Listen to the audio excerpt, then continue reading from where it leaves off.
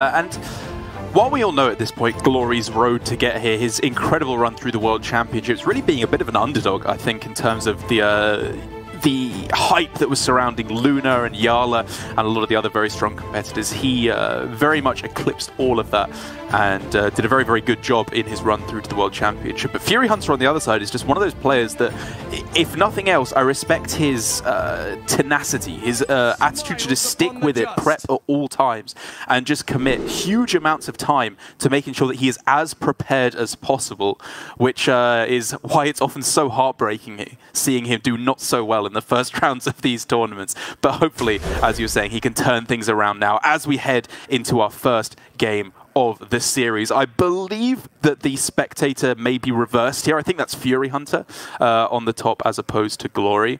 Uh, but either way, kicking things off, it's uh, a reasonable full mull from both sides. I think we can agree. It is true. Again, to anybody that might be a bit confused, sorry, we'll get this fixed as soon as possible, but it is Furyhunter running the two ofs Priest and Glory on the Highlander Priest, so just ignore the camera for now if you prefer. Um, you were mentioning, Derek, that Glory absolutely swept the floor with you in the Highlander Priest mirror. I know it's not quite a mirror of archetypes here, but yeah. uh, could you draw any similarities to how it might play out against uh, the Resurrect Priest?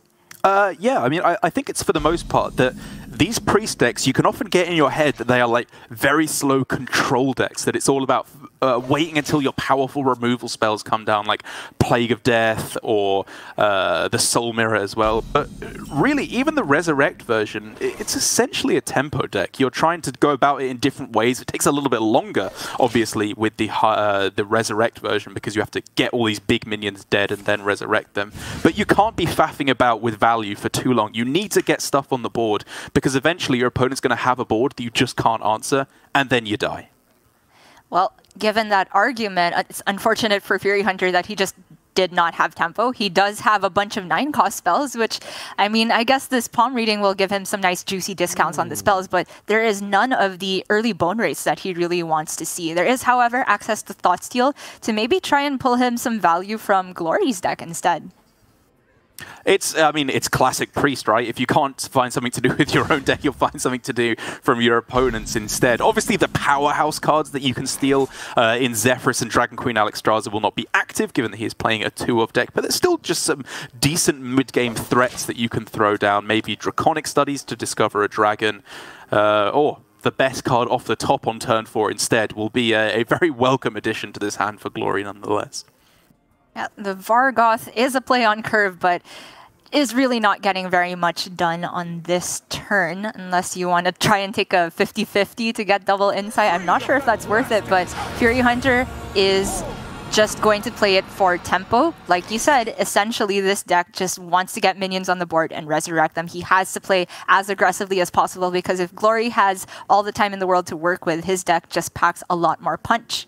That's right. It's the the beauty of a deck where your strongest combo card in Archmage Vargoth, you can just throw it out onto the board like you don't even give a damn about him because he's going to be rezzed with mass res, and then hopefully he'll get you another copy of that played so you can resurrect six minions on a single turn. For now, eight mana rather than even nine, which uh, of course is exactly what the Res Priest needed to be doing. And so now for the Highlander Priest, which again, Glory is playing on the bottom as soon as we get these cameras fixed uh, the right way around does need to be wary of this, of course, because there are some things that Vargoth can do while it's on the board here.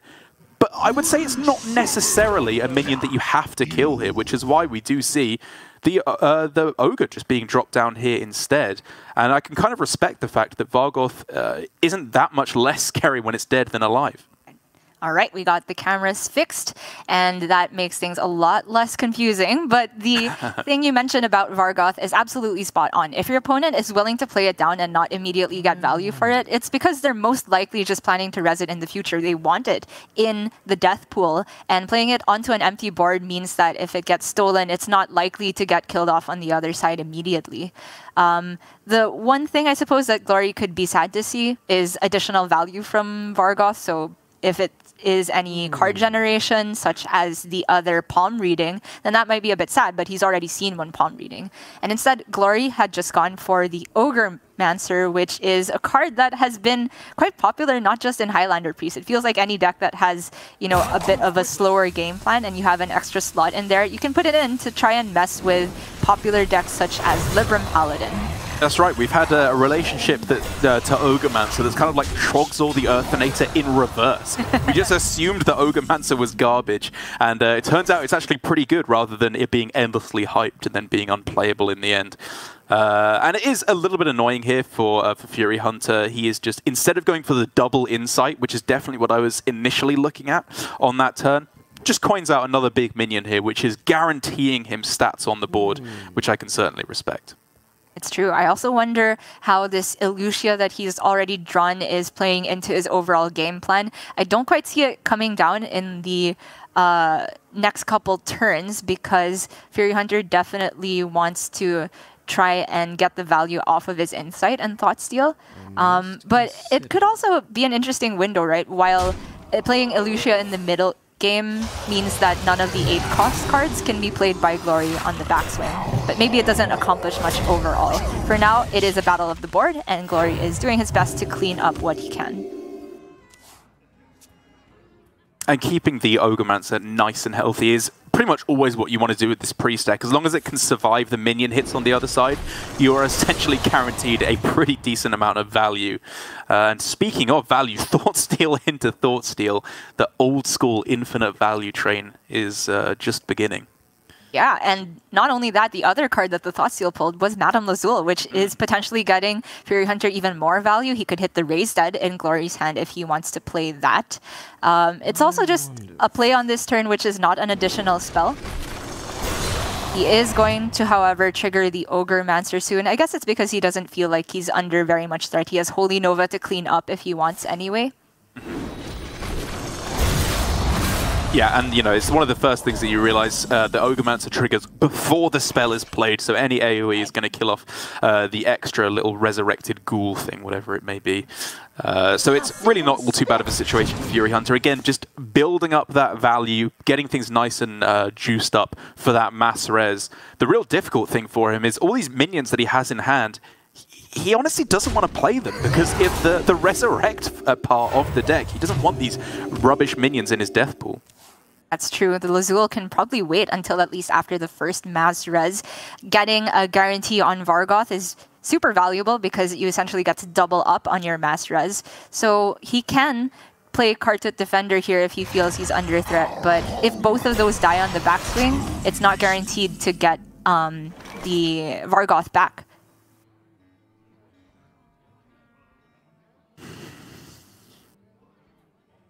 Well, there's a few ways here for Glory to try and maximize his tempo. Obviously, the, these uh, Draconic studies are looking pretty nice to just get him a dragon. Could have even found like Murozond there, which would not be bad at all. But now finding Illucia on the other side is uh -huh. very interesting indeed. All right, it's a great way to start off game one of round one of Swiss with Illucias on both sides and an Illucia still in Glory's deck. Um, this looks like a bit of a simpler decision. Unfortunately, all of these dragons are too expensive, even post-discount, to be played with the rest of Glory's mana this turn. But I am hmm. pretty interested in just, yeah, maximum value. Oh yes. I mean, even if they have the uh, the Plague of Death to obviously have the best answer to Plagued Protodrake, I guess, appropriately enough, uh, you still just want the biggest threats that you're throwing down turn after turn, as Glory knows full well here. The best defense very often is just a strong offense by playing out all his minions. And we did establish at the beginning of the match that Glory does have the advantage the longer the game stretches out in most cases because he is packing a bit more value. And so Furyhunter can hmm. already go for his first Mass Res here to get Vargoth and the first Khartut that died, and then he can double up on that. Um, is there a better Mass Res that he could hope to get? Well, currently he's going to be getting the uh, the Khartuts. He's going to have a full board, right, of Khartuts and uh, two Vargoths at the end, which is obviously very impressive. Uh, the obvious downside is you're going straight into turn nine, which could just be straight up Plague of Death on the other side. Uh, but that's always going to be a threat, you know. The longer you wait, the more likely they are to have it. So I am fully on board with just going for it now and forcing them to have that removal. I completely agree. Sometimes they don't have the Zephrys. Sometimes they don't have the Plague of Death, and and it's uh, harder to find answers in a Highlander deck. So Furyhunter is going for maximum development as soon as possible. If they have it, they have it, and even if they do have the removal, Furyhunter has access to his other Master Res at some point in the future. And it so happens that Glory does not have a convenient answer for all of these minions. So is there some broom play that can get enough done here? I mean, I'm, I, if I'm Glory, I'm thinking, is there any kind of Illucia play, first of all? Obviously, things have been cheapened by a uh, palm readings played earlier on, not to the point where a Plague of Death would be playable, which is obviously the real break point that he's trying to hit here. In which case, I guess you're right. Maybe the Broom is the best way to go. You can Kaj a copy of Khartut Defender in order to put up a defensive wall of your own is not terrible at all yeah, I think it's going to have to be something along those lines. And honestly, trading here might be more detrimental to Glory than advantageous in the long run of things. I, I expect to see no more than uh, a couple Khartuts die here. Obviously, you don't want to be trading the top half and leaving the bottom half cartoon. Yeah. Because you essentially give Furyhunter charge on the first half of its minions. So he is going to leave up, uh, what is it, 16 damage on the other side. Super scary. This is a problem that you're going to be running into more in uh, in battlegrounds than standard at the moment. If my board is not big enough, I need more room for all the things I'm going to be summoning. Because with two copies of Grave Runes in hand now, obviously Furyhunter can, as you were saying, erect that impenetrable wall. Uh, but again, for Glory, he just needs to steal one of these or find that one Plague of Death or Zephrys in order to clear. No matter what Fury does here, he knows that it, there is the potential for there to be an answer on the other side, which is where he needs to find this balance of not overextending. I think this is very much enough for Furyhunter here. If anything, I expect him to just use perhaps this Holy Nova to clear most of what Glory has developed and continue to push for what looks like a two-turn lethal. Indeed, definitely the way it's looking at the moment. Uh, Holy Nova being the only spell played gets the Vargoth usages as well. I mean, the really interesting thing on the other side is the fact that Glory does currently have a, uh, a six-mana Malygos in hand, which could be utilized alongside... Oh, uh, Zephrys, you know, I mean, Arcane Explosion here could be used to great effect. Uh, obviously, the problem being uh, there will still be a whole lot of Khartut defenders on the other side, and is Zephyrus willing to play along with you? Based on Furyhunter's camera, I think he feels he messed up quite a bit with all of the extra Holy Novas. I think he yeah. accounted for one extra Vargoth activation, but he had two.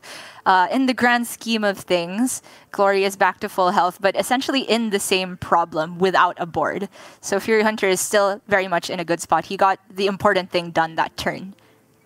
And this is what I was talking about at the start. The priest has endless development in terms of threats. Look at all these big, juicy minions that Glory can throw down, and yet removal is incredibly scarce here. It looks like he's going for the line I was thinking of here of trying to get uh, an Arcane Explosion, to which Zephyrus decides, okay, I'm going to play ball on this one and give you the Arcane Explosion, which is a big deal. It clears up a lot here.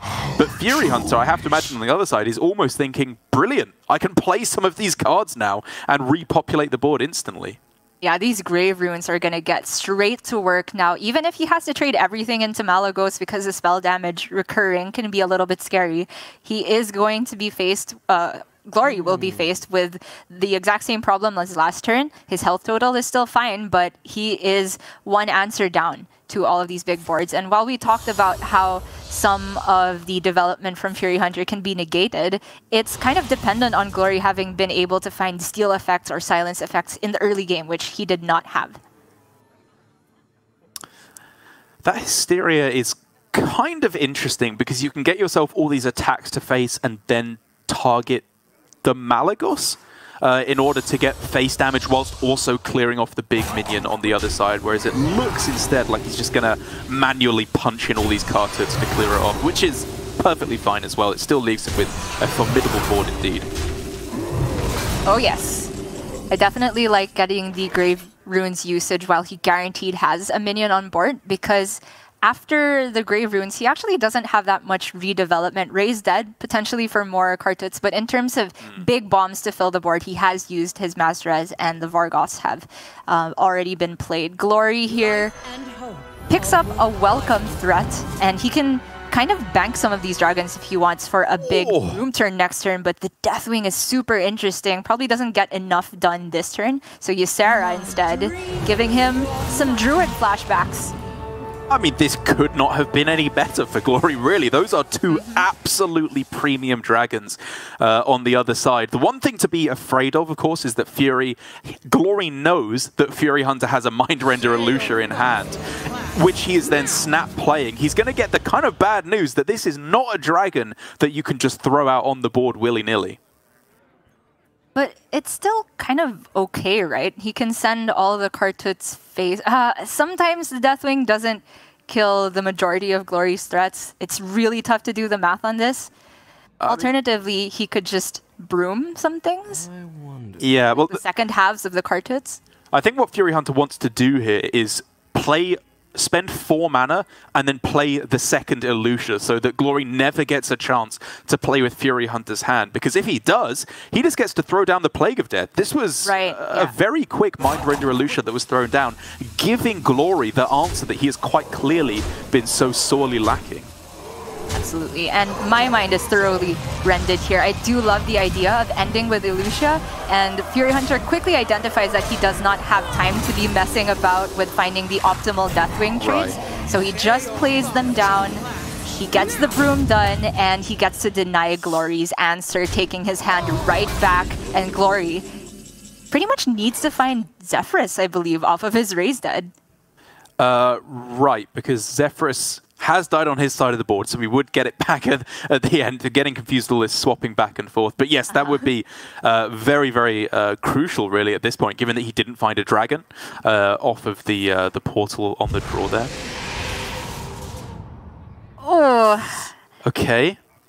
Some taunts is delay. I mean, he has seen Furyhunter's hand. He knows that there's very little aggression in there. Um, oh man, this game is already just so interesting to me. The fact that Fury played that Illucia so quickly, I really wonder if he knew that Glory would have picked the Illucia where it presented to him. Was he banking on the fact that that would be there?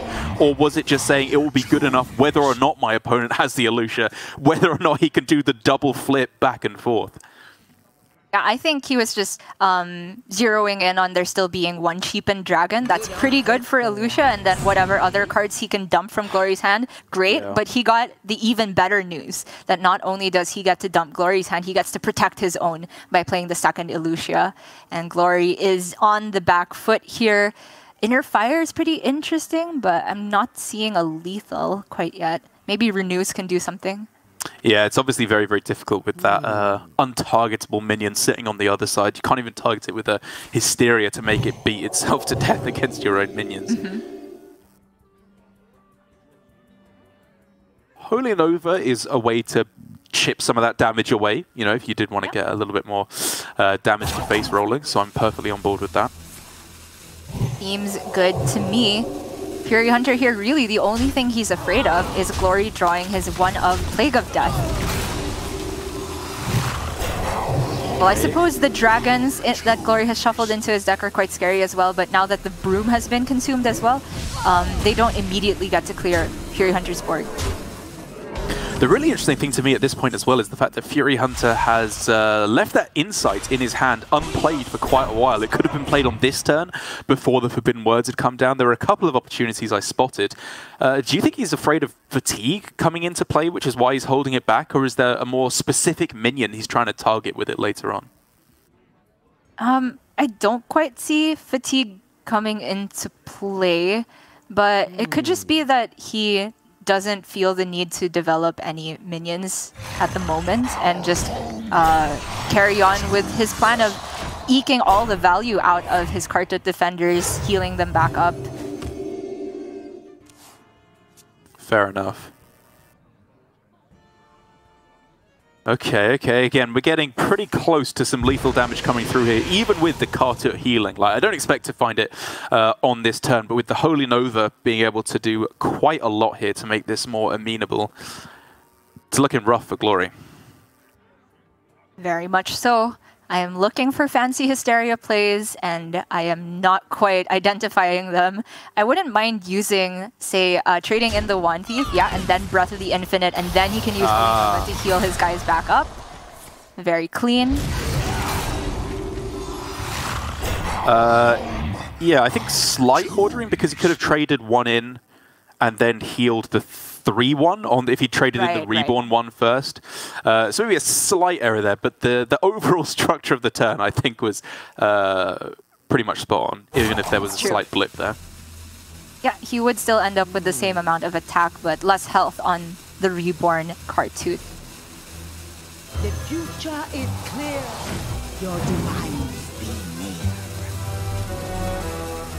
near. Even more value for Furyhunter. He is not going to run out of threats anytime soon now that he has that second Mass Res in hand. So he essentially already has the ace in the hole for if Glory draws his second, uh, his one of Plague of Death anytime soon, which it's not even there. Well, that draw of Renew opens up a couple of interesting possibilities. Obviously, there's the play of just target your own face and hope for Plague of Death or Soul Mirror, I suppose. There's the play of going Plagued Proto-Drake and just hoping that they can't kill you on the other side. Or we could even have seen a Sethekk turn starting there with the Renew as well. Yeah, many different avenues. Glory going for the only play that doesn't involve any random generation, and he he feels like this play on average is going to be better for him. Very normal mass res here, Furyhunter knows that if Glory has Plague of Death, it has to be played right now. And Glory's taking the turn here to taking the time to play Sethekk, it looks like first, which as you were saying, pretty much just locks out any chance of going for a Plague of Death because instead he just wants to heal up rather than try and remove all on this turn, which is uh, you know, not necessarily the the first instinct I would have had here. Yeah, um, just a simple attack from the Plague Proto-Drake puts him to 16, at which point there would still be 16 on Furyhunter side of the board. Um, okay, Shadow Madness is a big, big deal here.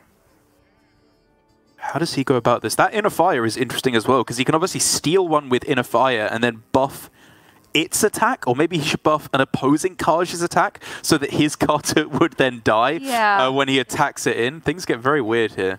It's all quite hmm. awkward, right? Because if he steals one of the ones that still has Reborn, he has to inner fire the non-Reborn on Furyhunter's side, which means he still leaves a 4-1 on the other side. So I think it's better to just hold on to the inner fire and clear it this way. Leave the two Reborn ones up, minimize the amount of attack on Furyhunter's side of the board.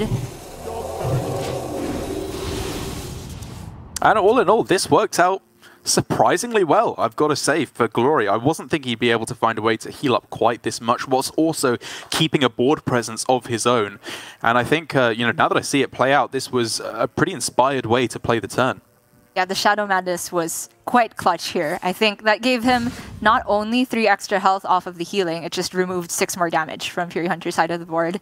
If that were still there, it would be almost lethal, if not already lethal for Glory here. But Furyhunter still by no means in a bad spot. He has, if he likes, just a way to delay Glory healing back up with the Plague Proto-Drake.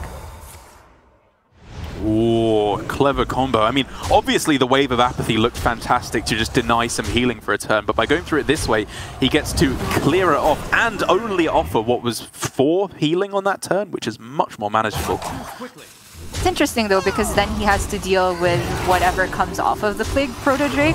Um, in terms of just completely eliminating Glory's board while minimizing the healing he gets, I quite like this play, but I wonder if there was an opportunity to just say drop his own Plague Proto-Drake and hmm. go for the wave. Well, he couldn't have played. He had to find the wave. Oh, my bad. Of, yeah. Yeah, a uh, palm readings first. But I, I, like your instinct. I think going with Khartut Defender instead of the Hysteria was definitely something to look at uh, because, you know, at one health there, the Plague Proto-Drake, Furyhunter could have just hit lethal if Glory hadn't found an immediate answer. Well, Glory by some miracle, has managed to get himself stabilized now. Furyhunter has used both Mass Resurrects. He has picked up quite a big value minion off of his copy effects from Glory's hand. But now Glory has the opportunity to just mind control his Plague Protodrake right back.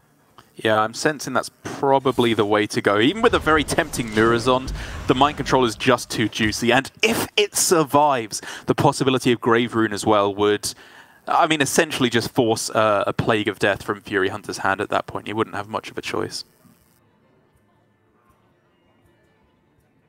Yeah, it's true. I mean, if it's not Plague of Death, Furyhunter can go for Infiltrator and just delay on the Plague Protodrake, which I suppose this play means that Glory doesn't get a full turn of redevelopment on the other side, but uh, I don't know. I feel like um, Furyhunter is now falling behind.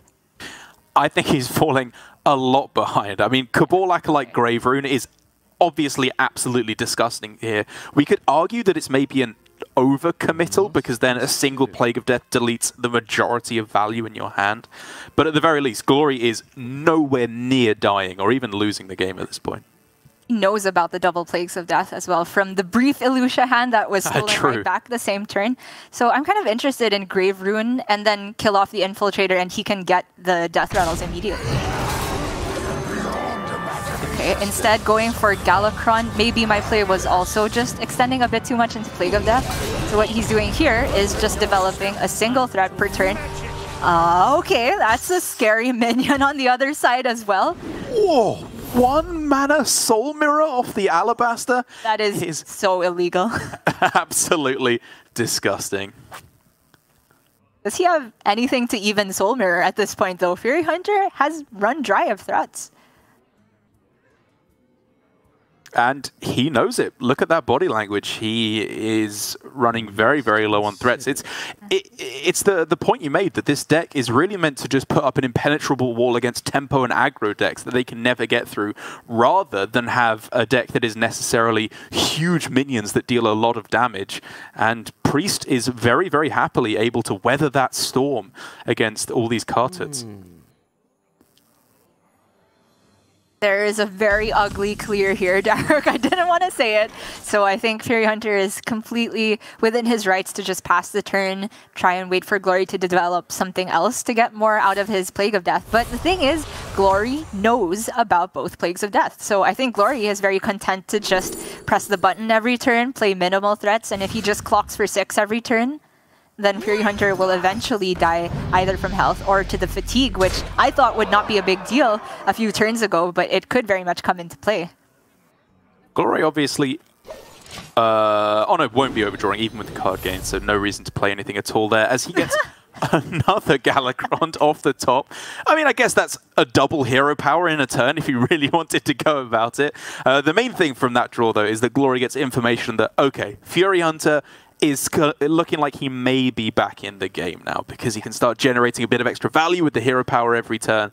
And uh, maybe if he gets some really nice minions like a Skeletal Dragon, Murozond, maybe Natalie Seline as well, it's possible for Fury to pull this one back. Right. I'm going to go ahead and use the Hysteria as a single target clear, make sure the Galakrond gets rid of the Keymaster Alabaster, and this has transformed into a Priest Mirror from two metas ago where it is all about pushing the button, but the big difference is that Furyhunter is six cards deeper into his deck. His hand is largely just removal, whereas Glory still has Murozond. And uh, if Glory just carries on, doesn't do anything too fancy, he should be almost 100% guaranteed to win this. Yeah, I, I think it's looking very, very good for Glory as well. Don't let the uh, the fatigue counters fool you, by the way, as well. It is obviously uh, dragons that are in the deck for glory that is beefing up his deck count. So he's a little bit closer in fatigue than you may think uh, to Furyhunter on the other side. But the point still absolutely stands. It is not looking good for Furyhunter. And all of a sudden, that keep on the play of Insight, while you were saying that uh, you didn't think fatigue would be a concern, and I kind of agreed with you at the time, Furyhunter seems to know this matchup pretty well. I think he very possibly anticipated that this exact scenario would occur. Yeah, I can see that, but at the same time, it definitely feels as though if game plan A of the Resurrect Priest, which is try to build the board and kill them before they find their big Plague of Death, uh, doesn't work out, it feels like their chances of winning in Fatigue are significantly less. Okay, well, did someone say dragons? Because all of them coming in one after the other. A pretty unimpressive bunch, to be perfectly honest. This is a little bit below average, I think. But the big daddy in Malygos himself coming through, I think, makes it... Uh, you're more than happy to take this. Yeah, it at the very least will demand one of the Plagues of Death from Furyhunter to be played out next turn. Gonna go ahead and use the Holy Nova, I assume, to be able to push. You'd think so. Could also just re-equip Galakrond. Uh, yeah, that's true. That's true. I mean, he, he wants to do that, I think, when he wants to press the hero power again, and with so many cards in the hand, it's not right. really a possibility right now. Very true. Holy Nova also just gets the more expensive card, strangely enough, out of hand, because Galakrond is just one mana now. All right, well, he's starting to get some of the good minions here. Uh, Murozond is fantastic for Furyhunter, of course. The natural Illucia in the deck is a scary prospect because the main thing that you think about Illucia is obviously the ability to play cards from your opponent's hand. But one thing that you have to remember is that by playing Illucia, your deck is drawn from twice on that turn, while your opponent's deck is drawn from no uh, none amount of times. In which case, in the fatigue battles, you have to be very cautious about whether this Illucia is worth playing at all. So I really wouldn't be surprised, actually, if Glory just doesn't really play that for the rest of the game. Yeah, I can definitely see that happening, especially since his hand also, if he just gives it over to Furyhunter with full mana, it means that Furyhunter gets to use his Murozond. So if we do get to see Illucia, I don't expect it to happen prior to Glory's Murozond, but it could very well just stay in hand the entire time. Glory is the one who is presenting threats at the moment, but this could be a good Murozond for Furyhunter. Yeah, I was definitely looking at that on the... Uh... Hello?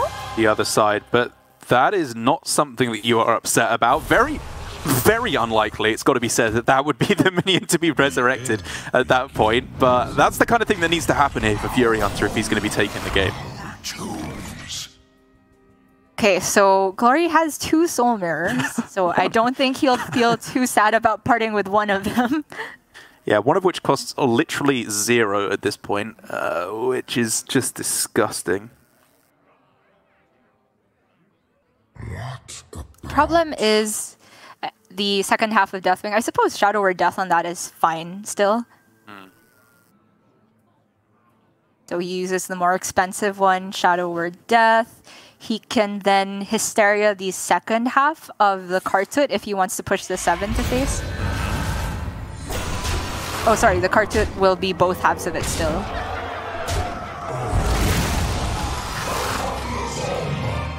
I mean, I think the main thing to take away from this turn is I like that Glory is getting rid of cards from his hand so that he can play the Thought Steal before Furyhunter runs out of cards. Because, uh, right. you know, a single decent roll here of another big minion or maybe a key piece of removal uh, could be uh, crucial in making sure that Fury has no chance of pulling this one back.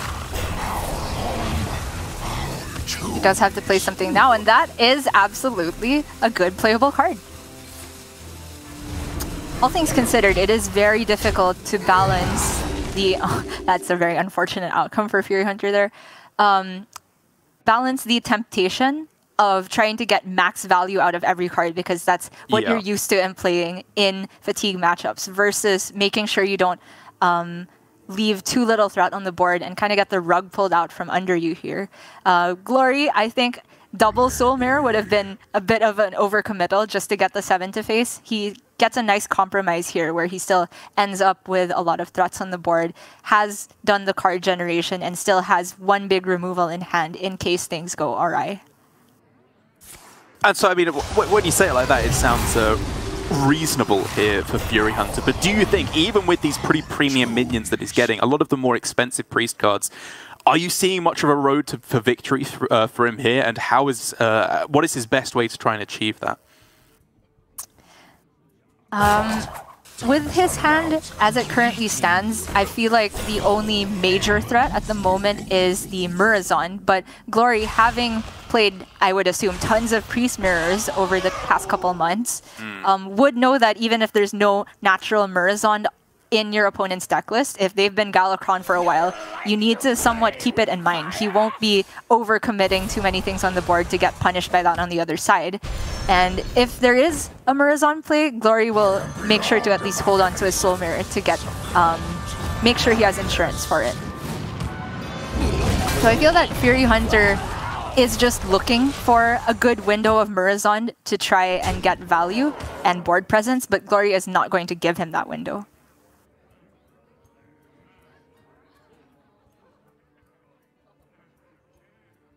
So this board does not, uh, of course, necessitate a clear on the other side. So Fury does have the turn if he wants it to just develop his own threats here, which he does in the most logical way possible. Just spends all his mana while pressing the hero power. Um, I mean, you know, obviously I'm saying I don't think this is enough for him to win the game. I'm not necessarily offering any productive alternatives for him to go for instead. So I guess this is really his best chance of getting there. Just hope that Glory gets an absolute load of gubbins off the hero power, which for the most part, to be fair, he has. Like a 5 mana 3-2 there. Uh, Lightwell is pretty much useless as well it's an extremely slim chance, but it's the kind of things that have to happen for Furyhunter to potentially eke out that extra value from his opponent. True. Um, the whoa, okay, that is not Gubbins. That is another Illucia. Uh, and the Devout Pupil, which was good even a few turns ago, is now even just better, cheaper. Furyhunter has the second Plague of Death, but I don't think this board warrants enough of a threat to get rid of that way. So he is going for the Mass Res here, trying to delay Glory. But Glory has been very slow and methodical about this, never overcommitting on a singular turn, never walking into Soul Mirror or yeah. uh, Murozond on the other side. One thing I will say as well is that I actually I like that Furyhunter is going for development here as opposed to removal. Uh, you know, it's very easy to say in these situations that each of his threats is too important to just be throw down to value traded. But I think he realizes that if he just spends his turn playing uh, Plague of Death and then effectively passing, uh, Glory won't let up for a single turn for the rest of the game. He will spend the entire right. remainder behind on tempo, taking chip damage every turn. And so, even though I don't think this is likely to win him the game, anyway to go for this line. Uh, he had the potential to maybe get uh, a Vargoth instead here and resurrect a whole entire board that could have eked him out for a victory. Hmm. Glory knew that his very last card in the deck was Plague of Death. Wow. And I'm kind of actually surprised to see him spend the whole turn and get one deeper in fatigue just to do this. I, I thought he was honestly just going to maybe develop his own stuff and say, if you're not going to budge, I'm not going to budge, and I have more health, so it's fine.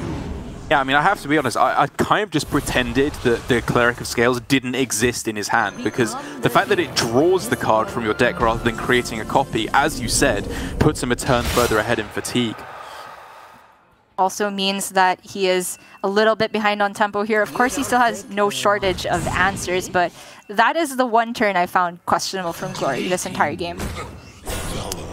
Yeah, I'm uh, not convinced. But either way, it does mean that he knows that Furyhunter's main final threat has been eaten through. Furyhunter on the other side now, though, I think has finally been given a good uh, Murozond here with two, or three, I should say, very impressive minions to just instantly copy from the other side. And this is somewhat still navigable for Furyhunter. I say this with the utmost hesitation, but if that Lazul can pull Illucia, does Illucia even do anything here? Not that much. Like Furyhunter's hand is better than Glory's at the moment, I think. Yeah, I mean, you just don't want to give... Uh... Hmm. Yeah, giving the removal of the Plague of Death is very, very awkward. Could this just be the Murozond turn? It's a fair amount of development. Uh, the thing is, he knows that there's at least one Illucia in Glory's hand, and he knows that his Plague of Death is cheap enough to be played with Illucia. So if he goes for the development, he knows this board can just get blown up. Yes, and I believe Glory should have the information to know that as well, right? Given that he saw the Plague of Deaths early on enough to, to know that they were cheapened to 8. Correct. Uh, and then another palm reading was played to get it down to seven. Although this is the world champion we're talking about, but this is the hardest level of hand tracking and memory. So the Illucia might not be an instant play, and it's not played immediately. Glory going to go for Soul Mirror instead, still gonna get a ton of work done. Doesn't even need the Plague of Death. This is Yeah. full clear anyway. More than good enough here. It does mean, though, that as I was saying, Furyhunter, I think, could not have expected a clear board on the other side for the entire rest of the game. He does now have that. This is the crucial turn where he needs to decide how he uh, best capitalizes on that uh, that one turn of breathing room that he has. Right. So Lucia feels like it's actively bad at this point in the game because again you're giving your own deck more draws into fatigue by playing that. So it's between Murozond and Mass Res in my opinion. And the Murozond, given that he knows some of the contents of Glory's hand are just more Lucia's, it's unlikely the Murozond gets him that much value. So he ends up on the Mass Res, gets a decent amount of development, and Glory has a decent turn of at least Murozond Wave of Apathy or Mass Res Wave of Apathy. It's a big threat, and obviously the kind of the the hidden background to what we've all been saying here is that uh, Furyhunter is just on much much less health. So if this carries on at an even kilter for both of our players, Fury is simply going to die to fatigue quicker than Glory will.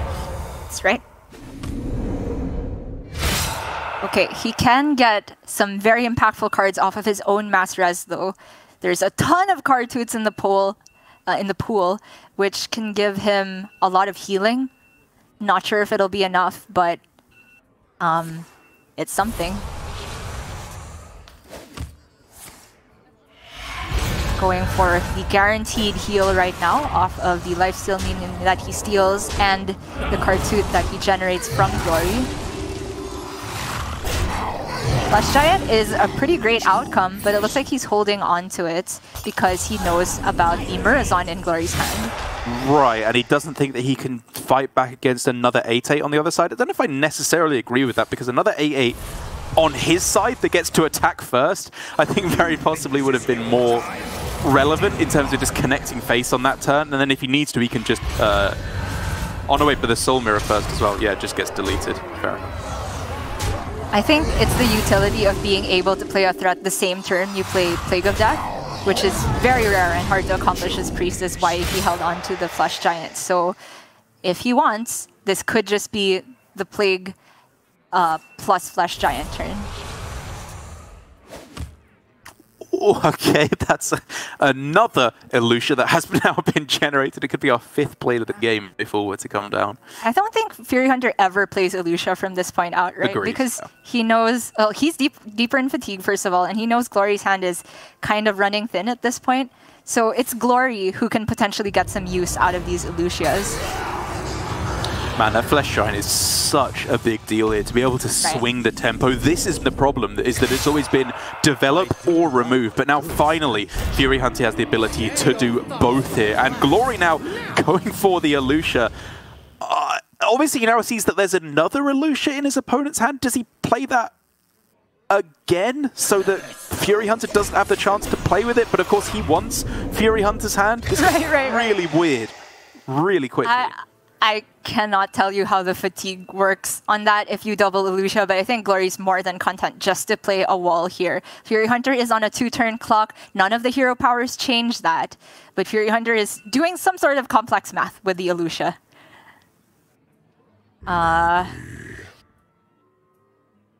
so he knows about the Aeon Reaver on the other side, which allows him to clear the um, devout pupil if he likes, but it involves trading as well. What if?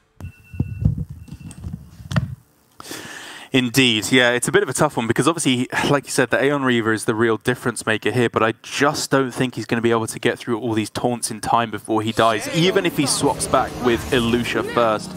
Like, he can swap back, get his own hand, press the hero power so that even if it's unplayable, uh, Glory would not be able to play it. He gets himself a Devout Pupil, which is absolutely massive in this situation. Swaps the hands again. I'm not even sure who gets what hand at the moment, with that being the third Illucia in two turns being played.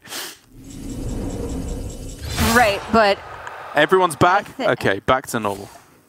This appears to have worked out very, very well for Furyhunter because he is not giving Glory the good hand, essentially. But Glory is still able to take it in fatigue in the most complex endgame I have ever seen in Hearthstone. Uh, just absolutely ludicrous, and in the end, exact fatigue lethal damage coming through for Furyhunter. He's giving it that look that every competitive Hearthstone player knows all too well of was there anything I could have done differently over a game that long? Surely there was some edge I missed out on in order to be able to improve his chances. And, you know, we can go back with a fine-tooth comb and try and find those one or two places where he could have developed more. Maybe, as you were saying, the Insight could have been played more aggressively because he's never winning fatigue anyway. But, I mean, I've got to say, his fatigue endgame there looked actually a lot closer than I thought it would end up being. Right, I definitely have to retract my earlier opinion about thinking that this deck doesn't have what it takes to go toe-to-toe -to -toe against Highlander Priest and Fatigue, but even if your Galakrond arrives a lot later, a lot still depends on the quality of what you get off of that hero power and whether you are able to eke out the maximum value from all of the other cards left in the deck. This endgame, Derek, I can't tell you how complex and difficult it is to navigate that on top of the pressure of knowing you're facing the world champion, of knowing you are the first game on stream. But after all is said and done, that's only game one of this series. And this is going to go on much yeah. longer.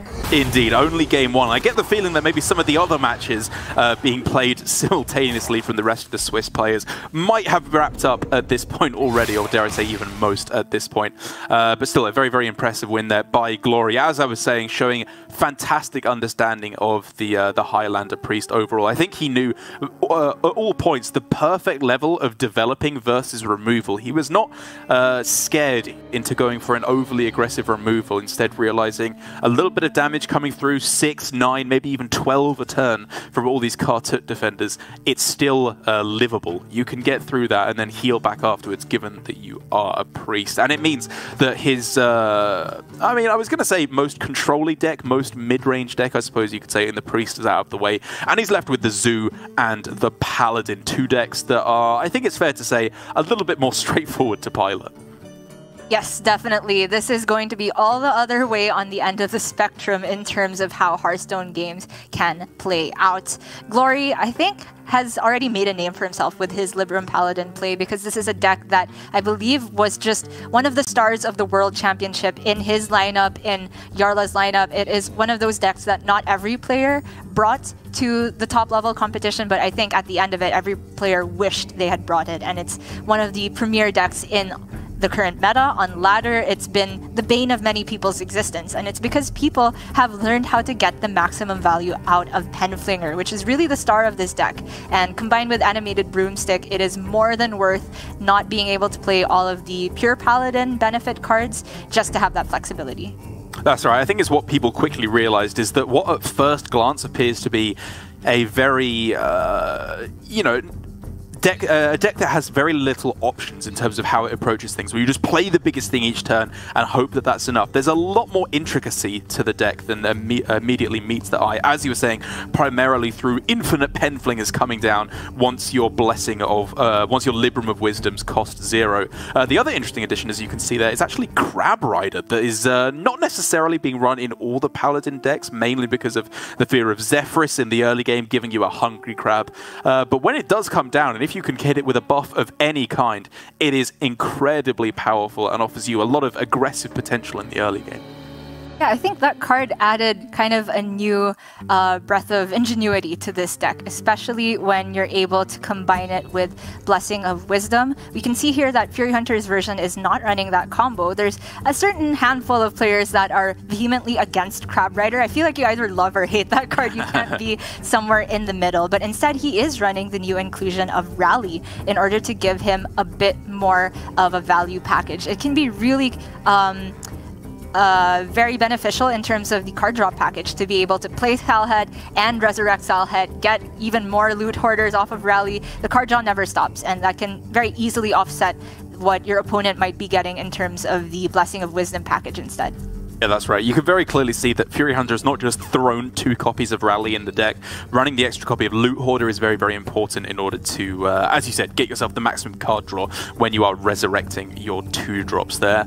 Uh, I suppose the other card that we haven't touched on, that of course came with the, the most recent mini expansion uh, race at the Darkmoon Faire is the Libram of Judgment, a card that at initial glance, I thought would be, uh, you know, potentially game-breaking for this Paladin because of how incredibly powerful we know a a 5-3 uh, lifesteal weapon to be, thanks to Uther of the Ebon Blade back in Knights of the Frozen Throne. Turns out I think it's a little bit more difficult to corrupt than uh, originally I suspected, even with the fact that you can make it cheaper with the Aldor Attendant and Truth Seeker. Uh, but still a very, very welcome in the uh, addition to the deck, sorry, that still allows for a lot more aggressive potential.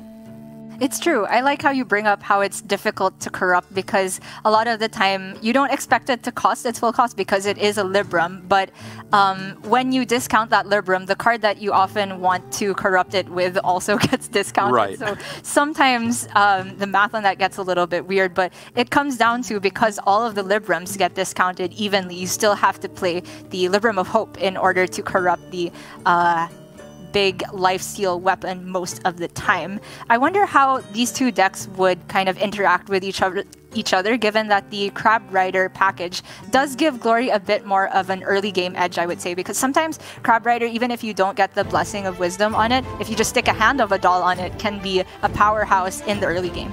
I mean, that's absolutely something to bear in mind, is that we obviously talk about the potential for this deck to go into these late game powerhouse states when you play all your Libram of Wisdoms, you're playing down, uh, you know, these huge minions, Penflingers are flying everywhere. Uh, but one thing that you have to bear in mind is that these can just be curve aggro decks a lot of the time. Uh, if you're able to hit First Day at School, Crab Rider, Hand of A'dal, Aldor Attendant, as you were saying, uh, you don't necessarily have the answers to fight back against it, even with uh, Libram of Equality and Lord Barov as two of the most potent board clears in the game right now. Libram of Equality. Wow. We all know which one that is. It's Justice. Uh, Justice, sorry, yeah. My apologies. I wish they had just named them after the cards whose effects they take to make everything easier. Libram of plus one, plus one.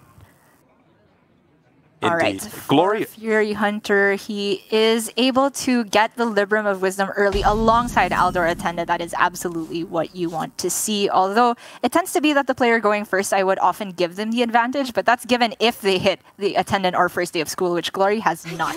Yeah, and he even mulliganed what you could argue is overly aggressively for it because he had the uh, the beating heart of the deck already in hand with Aldor Truth Seeker. Despite being a five drop, uh, it's kept almost all the time, it's got to be said, in almost every matchup. And yet here, Glory decided it was not quite quick enough, afraid of the extra tempo that his opponent could throw down at the start. And uh, maybe wisely so, because Furyhunter here has the juice.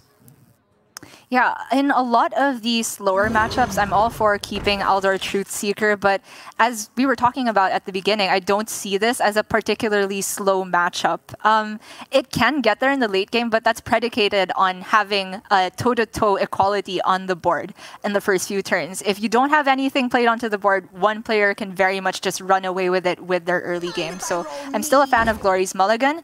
Um, didn't quite work out for him here, and that means that Furyhunter has full control of how he wants to do these trades.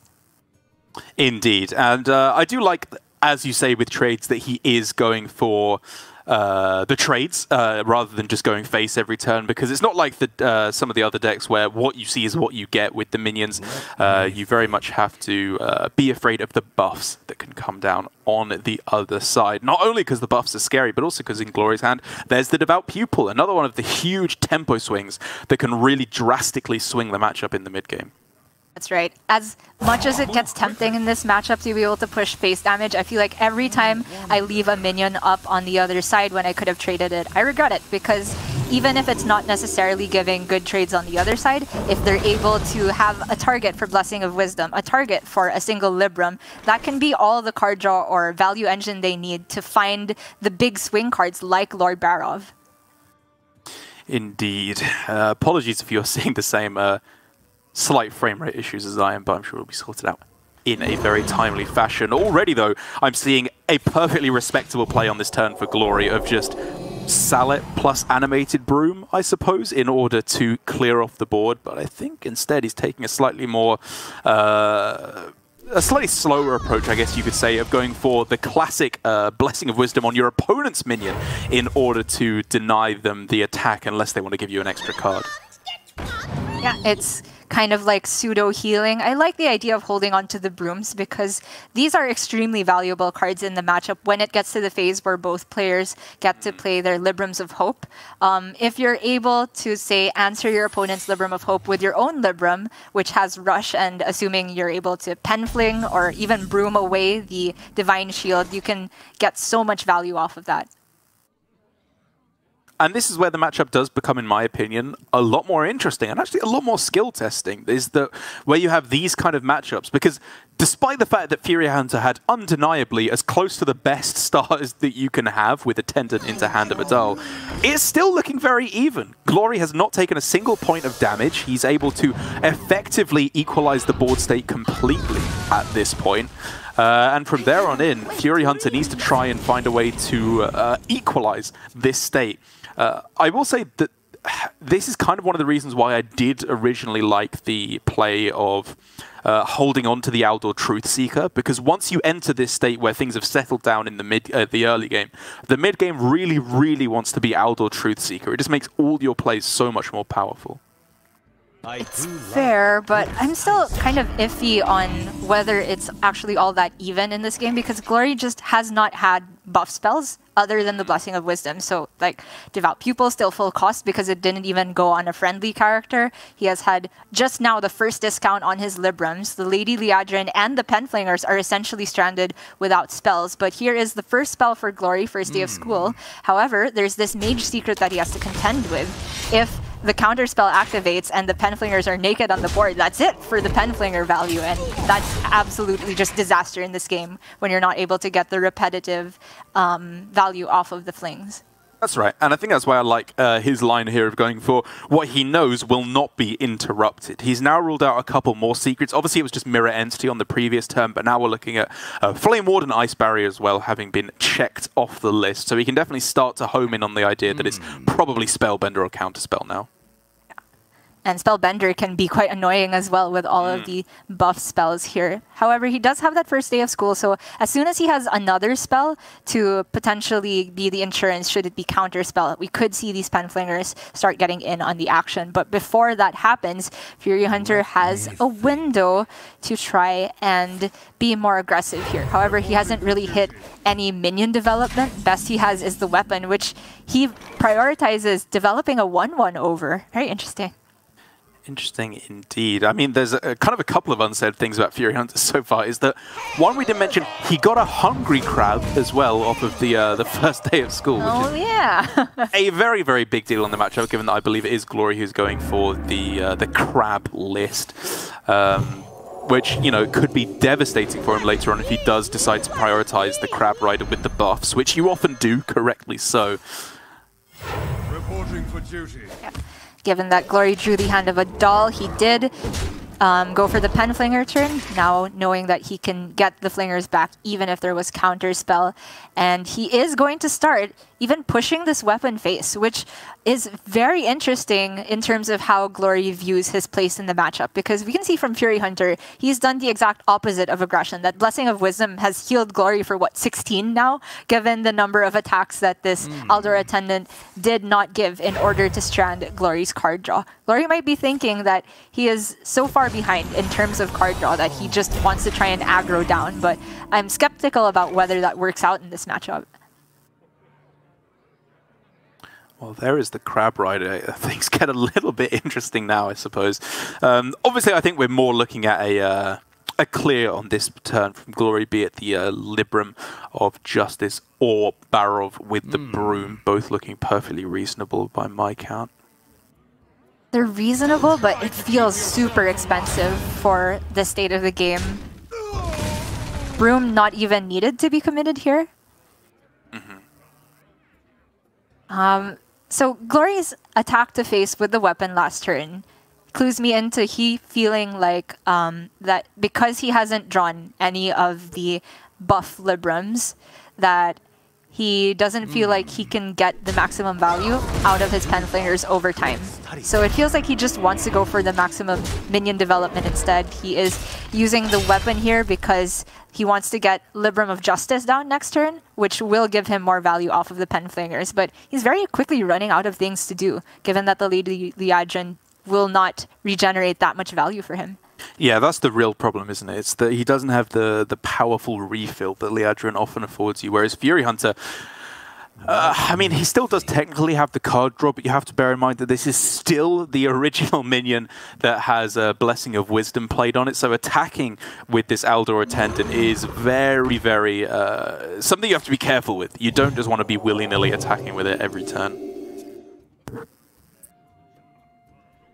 One card draw can be all the difference because the second Glory hits a Libram of Wisdom, he can start getting the Penflinger train down and try to put together the back-to-back -back turns of many Penflingers into Lady Liadrin into even more Penflingers.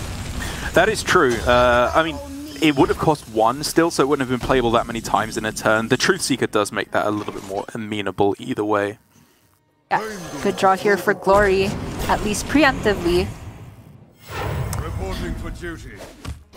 Om nom nom. Yeah, here it comes. Crab Rider hitting the board. I mean, uh, you could argue that it should be saved here for Fury Hunter because there's no buffs on it quite yet. Uh, especially as well, these uh, pretty powerful turns shaping up now with the Liadrin found off the top. Uh, you know, I still stand by the fact that his early game wasn't necessarily dominant, dominant enough to carry him to a victory, but this mid game is certainly looking a lot better for Fury. Yeah, he is really running away with it now. He's the first to get the Blessing of Wisdom for free with the Penflinger train. He develops this weapon, has control of the board, and Glory has already used his barrel. So in terms of delay, he doesn't have that much long left. Aye, aye, aye. I mean, Glory obviously has one big more uh, clear available with the Libram and Penflinger. Uh, I imagine it's not going to be worth it quite here. Probably looking at just Devout Pupil, maybe with Broom as well to get an immediate use of the Divine Shield. But that weapon on the other side is just so devastating it's really rough, right? Because if he even plays Devout Pupil, it means that Fury is able to kill off his minion that has the Libram on it, which means Fury Hunter gets more usages out of the Penflinger. So whether or not Glory develops a minion, there's going to be additional oh, damage from Fury Hunter coming forward. So I honestly feel like this is close to a checkmate position. In terms of what Glory can draw to change that around, it's probably his own Librams, but might be too late for that. I feel like he needs the Librams of Hope to give him board presence first. What I'm about to say might sound a little bit mean, but I really don't mean it in that way. It's I've kind of missed losing glory. Like, his expression when he loses, like, he's just done so much winning over the last few months of competitive Hearthstone, obviously culminating in a World Championship victory. It's, I don't know, it's like seeing an old friend again of when he was down on his luck in uh, Grandmasters a couple of years ago. It did sound very mean, Derek. It wasn't meant to be. It was meant in the nicest way possible, G. He's just been too good for too long. And uh, I don't know, we're seeing a different side of him now. I mean, here's a better way of wording it. I'm happy to see Fury Hunter doing well. the first round curse, maybe finding a way to turn around now. And the Lady Liadrin, not for maximum value, but great tempo here. Can fit in three flings if he likes. Yeah, uh, quite right. Seeing Fury Hunter win is like seeing a very, very long lost friend again on the flip side. Uh, but yeah, quite right. The Liadrin here for two extra card draw effects in the Hand of A'dals is just backbreaking here for Glory because his entire hand needs there to have been many Libram of Wisdoms played over the course of this game, and yet none have even been drawn two-thirds of the way through his deck. This needs to turn around instantly, or the game is over. Hunter taking advantage of the fact that his weapon is just a Pyroblast at the moment. He doesn't need all of the Librams of Wisdom off of Lady Liadrin. He is able to find this window to kill off Glory while he knows that Glory doesn't have many good uses for the Pen Flinger. Aldor Attendant far too late at the moment. So the clear is Justice, one drops and rush, but Glory says that is too expensive. It means that I can't come back on the next turn and we have a tied series now.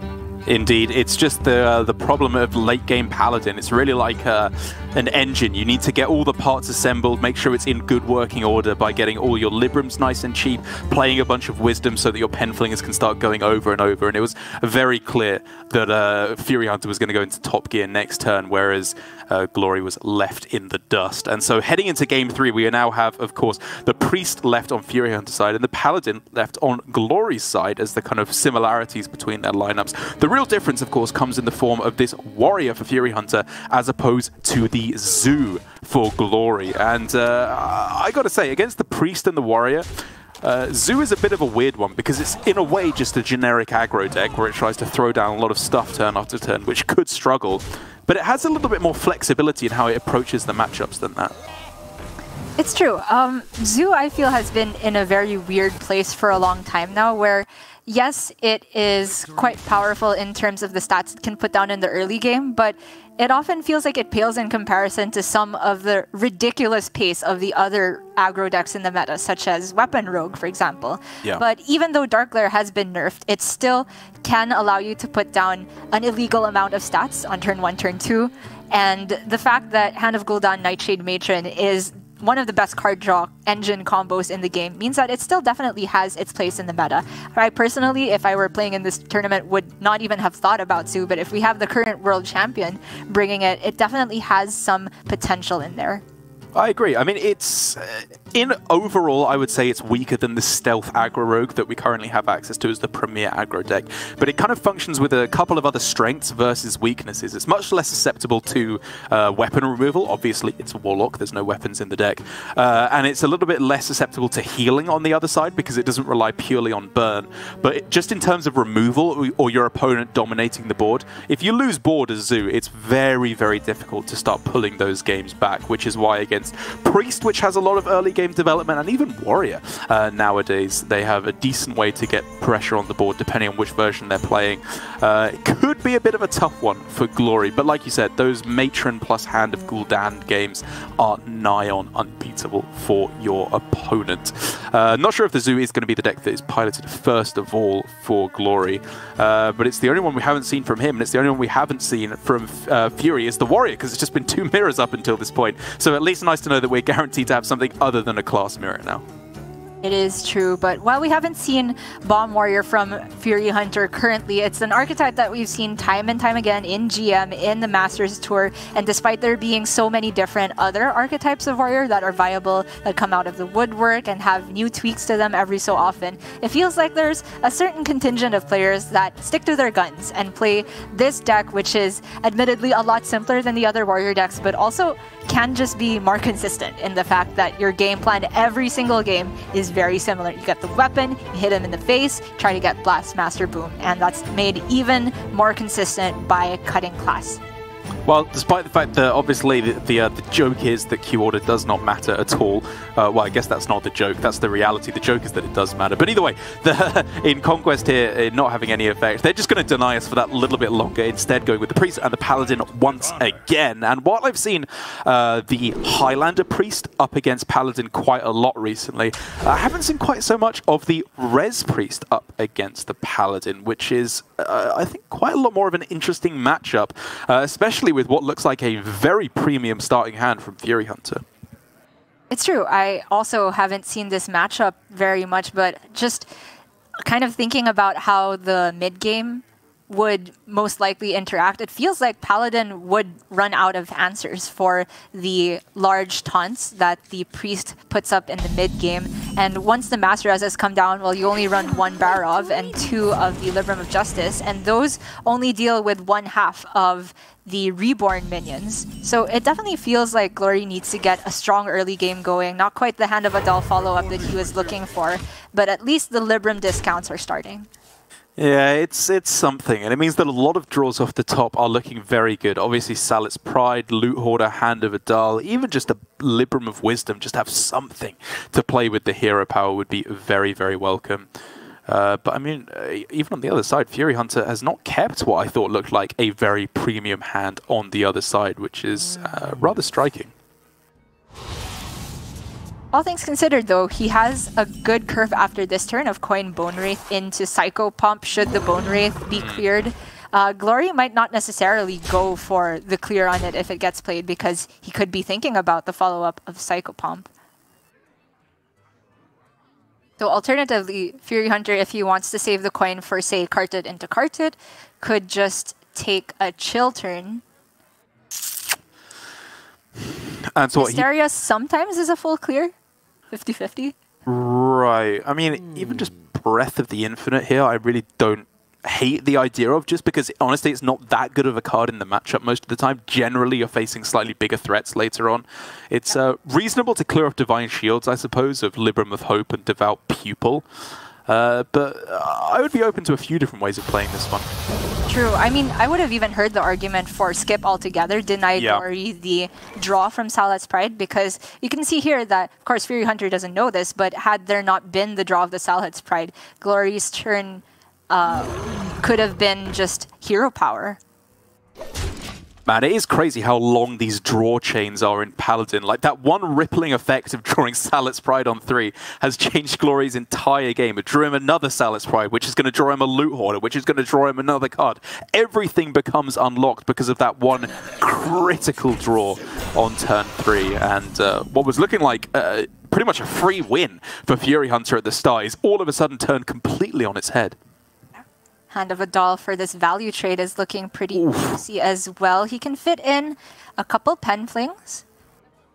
Uh, but they're not going to be able to clear the second half of the Bone Wraith because of the order that you need to go for the trades.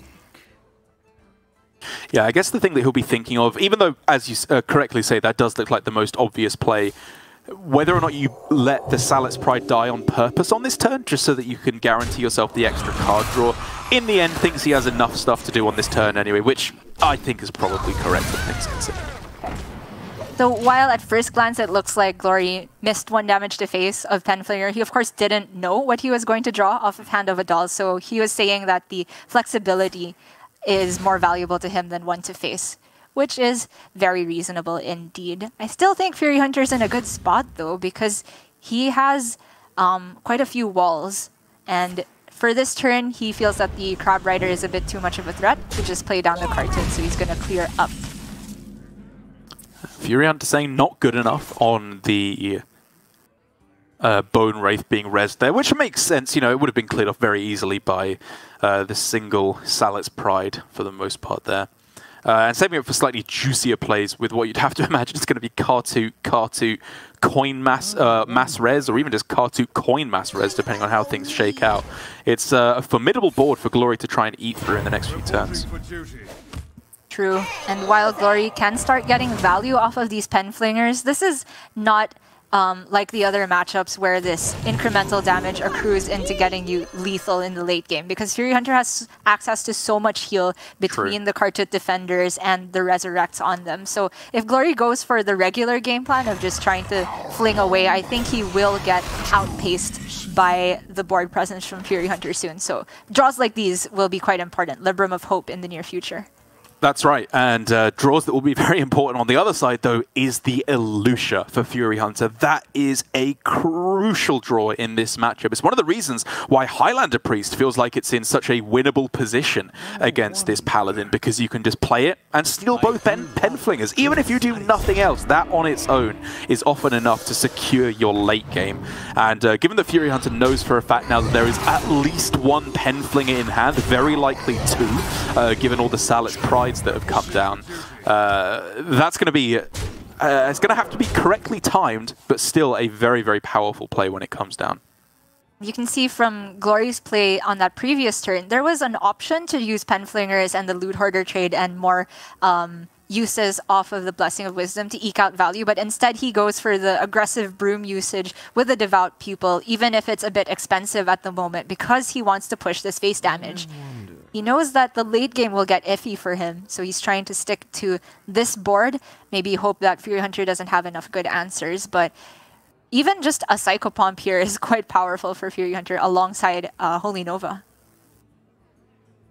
Right, and so you obviously have the 50-50 on getting the good one, I suppose, in Khartut Defender. But either way, I suppose it would answer this board fairly well, uh, given what would be left on the other side. Ooh, all right. Going for board presence right now is Fury Hunter. And all of these minions are sticky, so if it's just plain old Libram of Justice, not necessarily the cleanest clear for Glory.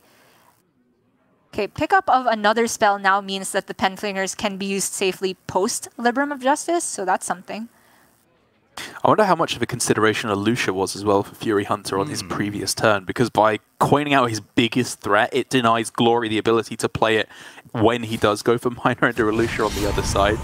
Um, but yeah, there's uh, definitely been a lot of room for creativity in this matchup for Fury Hunter so far as to how he wanted to space out his threats.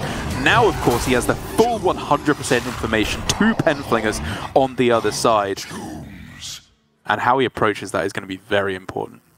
Right. Um, this Hand of A'dal, I can see going on one of the recruits maybe, so it can value trade over the Bone Wraith. There's still essentially four minions he needs to get through, so all the recruits and his weapon will be clearing the way for the Devout Pupil to make it to the face.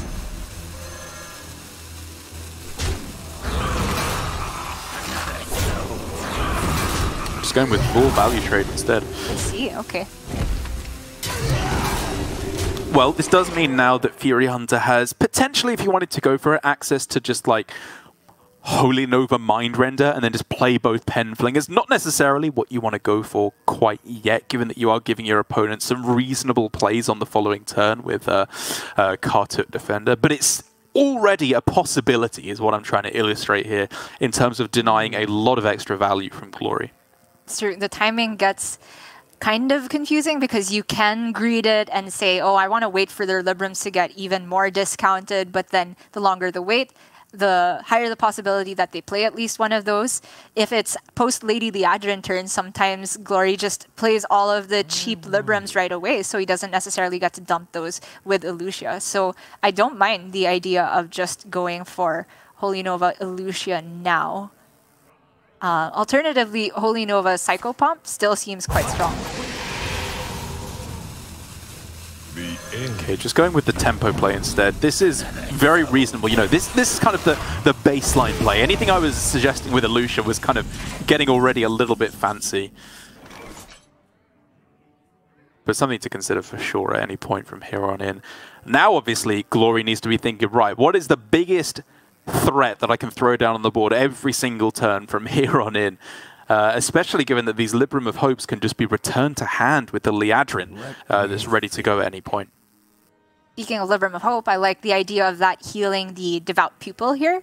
Um, he can go for Penflinger on the 3-1, bounce it back with the Libram of Hope and full clear. Uh, I'm not sure what he plans to do with his last mana now, though. Rush? Oh, yeah. okay. Seems like a pretty expensive use of the broom to me. Yeah, it does, especially with Barov in hand, right? I think Penflinger could have done a similar enough effect there. I think it was straight up better, unless he is trying to get rid of minions for Illucia, but I think Yeah. Glory's reaction says that he was not happy with how that turn played out.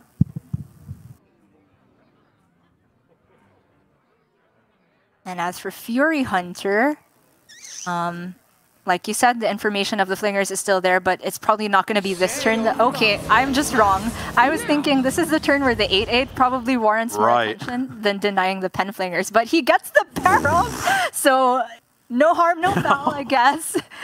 That is absolutely. This is so weird. I see a broom come down, I feel like they don't have Barov. Okay, correct order on the pen flingers here, which you have to imagine he's going to be playing. You do not want to bounce these back to hand uh, on the following turn. It means that not only has he gutted the late game potential that can come down with uh, these Penflingers, he's also denied a critical piece of removal in Lord Barov as well. This is backbreaking potentially for Glory, even factoring in that he can go for, you know, Khartut Bone Wraith, whatever it is to develop tempo on this turn. Right. And it might even just be Holy Nova because he doesn't want to give Fury Hunter both Penflingers back with a spell in hand. Holy Nova with Khartut Defender. Can he fit in palm reading? You probably just end up giving Fury Hunter an additional spell. So Yeah. I mean, given that it's Paladin, like you have a reasonable chance of just getting a secret, right? And then you can just throw that down as well, I guess is something to consider. Okay, so looks like he will go for it. There's Yeah. your the twin spell though. Yeah, it's, it's kind of a secret, kind of. Move quickly. yeah, and then he goes Holy Nova Bone Wraith or Yeah. Aerial works too. It's just whether he thinks the Holy Nova is more valuable to Fury Hunter or the Hysteria. And oh, I Oh, wait, yeah. realize this had wisdom on it. That's a great spot from Glory. I completely forgot about that. And I guess a bit of a blunder from Fury Hunter, actually, because he knew that he was giving a Hysteria, right? So he should have just precast the l- Blessing of Wisdom on an opposing minion. I've got to be honest, I quite clearly did not spot that as well at the time. Oh. But it's actually a pretty brutal blunder there from Fury. Yeah, it's a big deal because Fury Hunter, by playing Illucia, you essentially give up that your opponent will delete a couple of your resources in hand. Um, thankfully for Fury Hunter, he still has quite a lot of minion development, but the fact that Glory has a few more draws deeper in his deck, even though he doesn't have the recurring value of Penflinger, a threat chain is a very real problem for Fury Hunter here between the second of Libram of Hope and the Lady Liadrin. This is going to be a real close one. I'm already sensing it. There are so many good draws for Fury Hunter. That's what you have to bear in mind. There's uh, Plague of Death, Soul Mirrors, Mass Resurrections, even Galakrond, just to clear off potentially one big minion, uh, could be very important as well. But the draws come so slowly for Priest at this point in the game. Resurrect Priest, I think the eternal criticism of it is that it just doesn't have enough card draw. It relies on the minions getting double value to just take up the majority of your turn. But this could be the turning point for Glory. Risky Skipper with Libram of Justice, kinda illegal. It's pretty gross. He doesn't get to sneak in that much damage, I suppose, but it does just very easily deal, deal with a wall that Fury Hunter was kind of relying on, uh, to be honest. It was a pretty big deal to keep that in play. I'm not gonna knock the Reliquary of Souls either. That could be quite handy later on. True. when is running out of threats. Um, for the next two turns at least, though, he has effective things to do. Well, Okay, Nova Vargoth is fun, but instead it gets yogged. Right. And because it costs two mana, it goes to a two mana spell and a essentially completely useless one at that. Correct. Um, I guess he just ends up playing it with the Khartut Defender now. Uh, Sure. If you play Vargoth here, does it cast Holy Nova or the Witch's Brew? Like, did did, am- did your hero actually play the Witch's Brew or did Oh My Yogg play the Witch's Brew? Things get really weird when you start factoring that in. Yeah, that is a, an at Celestalon right there, but I guess would be um, Witch's Brew. Sure. But I've been known to be very wrong about some of these things. Okay, jamming the Reliquary of Souls in there, so there's a chance to immediately shuffle off of the Death Rattle.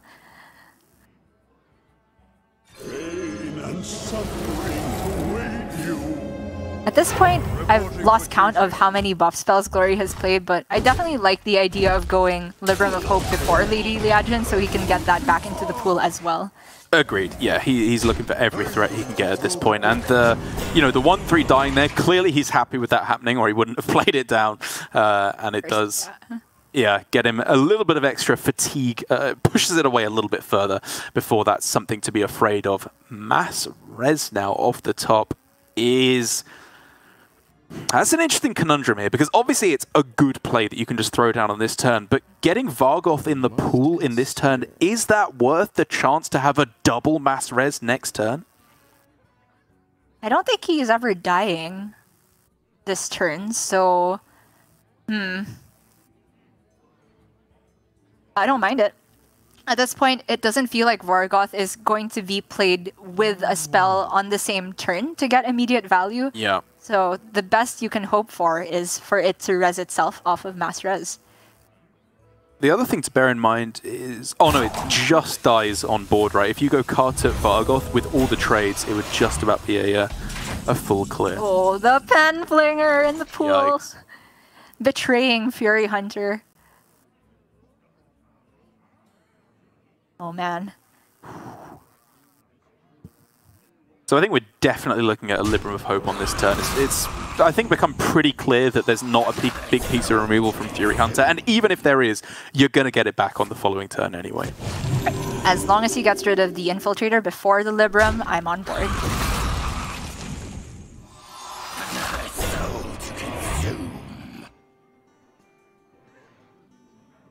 So it's kind of tough to optimize your odds of getting a small minion to die, but I feel like yeah. he can fit in hero power this turn and also a secret keeper, I suppose. And then do some of those value trades. Here he's fitting in a free Libram because it's just one more spell in the pool of Liadrin.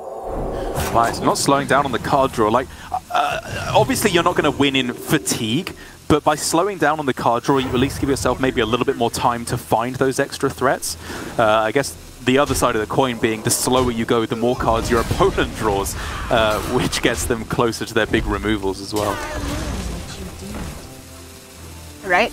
All things considered, a very complicated term navigated well for Glory. I'd argue that Secret Keeper should come down before you kill the Convincing Infiltrator, but it's a very minor deal. Uh, okay, that's got himself a uh, pretty sizable threat there. Uh, I guess you're going with Kartu over Vargoth here. Like the the potential of Grave Rune just going wrong is too scary. I wonder. I agree. And he needs all of these taunt threats, I would say, from the Khartut. Yeah. Oh! So is this just no Grave Rune at all then? Sure. This is interesting.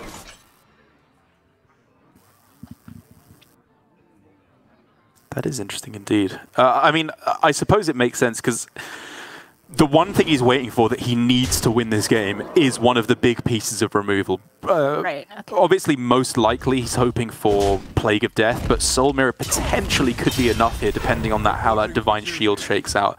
And then he wants to make sure that he has extra refill after that. So I, I can appreciate the game plan here, basically saying if Plague of Death isn't in my next two cards, I'm losing the game anyway. And he finds it off the top, rewarded for his line of play here, meaning that after Glory does whatever he does on the following turn, Fury can erect the wall of Khartut defenders.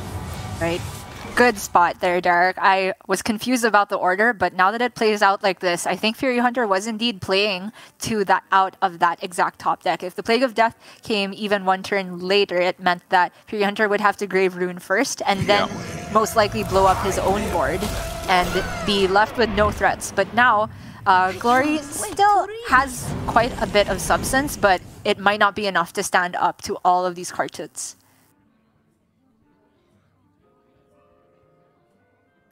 Well, annoying as that 6-8 is, it's not going anywhere. So if you're going to develop, you basically better develop now, I think it's fair to say. Another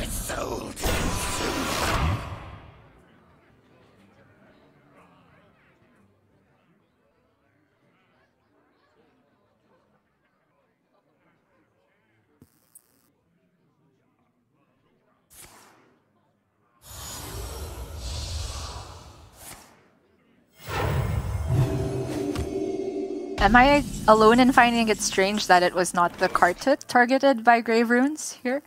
You are not alone. I'm wondering what he's searching for that could have been better than that. Like, uh, you know, obviously it allows for a nice VT, but so does anything that he got there, really. He, I guess, Like wants how we had our mutual moment of silence of why Psychopomp? No, no, no, yeah. Like, obviously he wants to save it so he takes more damage and then heals back up, but with this way he kind of just loses the Grave Rune anyway. It's, uh, you know, it's not a good position no matter what, uh, no matter how you slice it. Lady Liadrin now is soloing essentially Glory's value for the rest of the game. He has both of the Librams of Hope still able to be played. Deep in fatigue, but it's going to be a long, long time before Fury Hunter can wait that out. And it would still involve him, I believe, drawing the second Plague of Death sooner rather than later. Yeah, that's right. That's the one thing that Glory needs to be afraid of here is just uh, with Lucia gone, no way to res it back to hand uh, with Raise Dead. Uh, it's just the Plague of Death and not overcommitting into that that he needs to be afraid of, which he, he is perfectly doing here uh, by holding back on the Librams. Okay, this is the crossroads for Fury Hunter. Because Plague of Death obviously is going to save him a whole lot of health, but how does he deal with what he knows is back-to-back Libram of Hope next turn? I guess he crosses that bridge when he gets there because this is far too much damage to deal with this turn. That is a spicy final card as well to go along with these Libram of Hopes. Like at this point, both Plague of Deaths have gone. There is a Soul Mirror left as the uh, the sole strong piece of removal, I suppose. Uh, so how does he play around that? Going for double Libram of Hope in a way is not that susceptible because Divine Shields, obviously it's not going to clear, but it will summon two 8-8 taunts for his opponent, which is a little scary. It is, but I think this is Glory's only window to close out the game now. If he doesn't go for it here, he's losing to Soul Mirror the next turn anyway. If that is the remaining card for Furyhunter. It is, however, not. Uh, Furyhunter has ways of delaying. Um, this 1-1 recru recruit is a lot more valuable than it looks at first glance because after it gets hit with Librams of Wisdom, can allow Glory more um, flexibility with how he trades. I'm not exactly sure why he played his turn in that order. He could have just had a lifesteal version instead of a non-lifesteal version if he'd played the Librams of Hope first, um, which Oh, yeah, obviously I didn't realize he just Yeah, I mean- didn't bother corrupting it. Okay. It doesn't make a big difference, most likely, but it is kind of just wrong, which I wasn't really expecting uh, to be seeing from Glory. no, absolutely. Reporting for duty. Okay, so 50-50 for something relevant to die. Well, yeah, 50-50 at lethal if he wants to take it. It would mean drawing an extra card with the Hand of A'dal, obviously to buff the 1-1 up high enough. Uh, But if it gets through, he can just go for a 50-50 for lethal. Yeah, it gets quite scary, right? Because if he misses, he's a bit deeper in fatigue. So Glory takes the more conservative approach, gets the bad outcome, unfortunately, but still gets to push quite a bit of damage.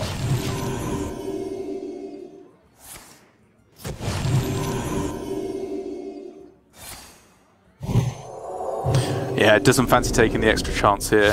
Um, I would rather just have the biggest board, because obviously there's the threat of Khartuts coming down, more heal on the other side, and whatever happens, it needs to be a very impressive play, and it's the Soul Mirror off the top here for Furyhunter. That top deck has just closed out this game, as far as I am concerned. Uh, I mean, he can make a big guy on this turn with four Librams. He can make a 5-5 and bring Furyhunter down to four health. But maybe that's just not enough. Because the problem is it's a singular guy that he can make, right? And Furyhunter is essentially playing two minions next turn with a Khartut. Right. and those minions heal him. So, Oh. Like, as long as Furyhunter draws another minion after this turn, Glory simply cannot outpace him. that was such an interesting final turn because Glory obviously, as I said, could have just taken the 50-50 for the game. If it goes wrong, it's pretty heartbreaking. But instead he took what was, I guess, a 6 out of 7 to win the game, unless I'm seeing anything particularly worse. I guess a Grave Rune plus a Khartut could have gone wrong. But in the end, man, that has got to be absolutely soul crushing for Glory to take that loss there. That was potentially a win on the table that he chose not to take because he thought he had better than 50% chance to win the game.